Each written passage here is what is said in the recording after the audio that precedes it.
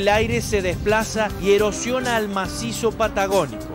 Viento, viento y más viento que empuja con fuerza. Captar su energía ha sido el objeto más buscado por los responsables de este parque eólico situado en Comodoro Rivadavia.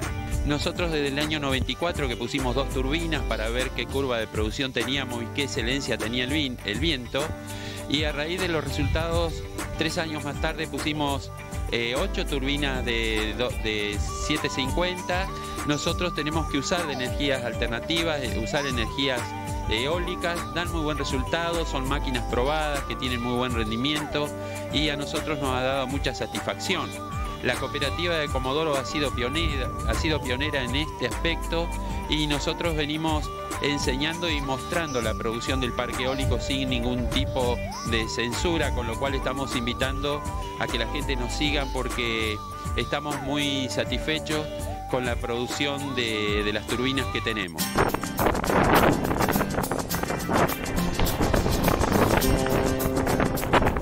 Los generadores por el momento se importan de países europeos, pero los técnicos e ingenieros están analizando la posibilidad de su construcción en la Argentina, una posibilidad cierta de aprovechar esta energía alternativa.